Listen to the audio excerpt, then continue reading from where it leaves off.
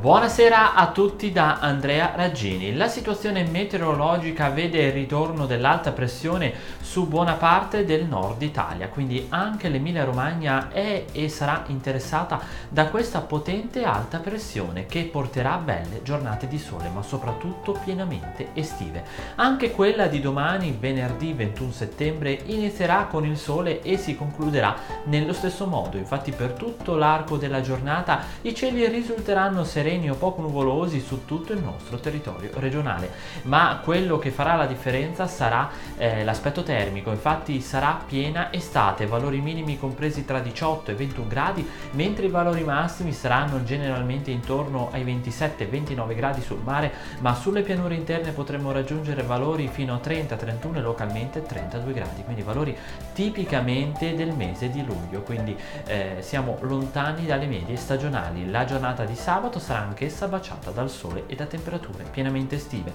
La giornata di domenica vedrà maggiore nuvolosità e un primo calo delle temperature prima di un importante calo termico che avverrà probabilmente martedì prossimo. Per questo appuntamento è tutto, buona serata da Andrea Raggini.